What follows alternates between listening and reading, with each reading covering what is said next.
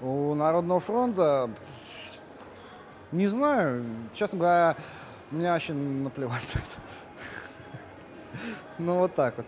А если, э, если так, честно говоря, я никогда об этом не думал. Мне, ну, будет, ну, мне было, вы понимаете, вот, я не знаю, вот была, например, партия «Наш дом Россия», там, да, потом было еще какое-то там единство, потом это стало «Единая Россия», потом станет Народный фронт, по- потом будет еще какая-нибудь фигня там, ну, все это то же самое на мой взгляд.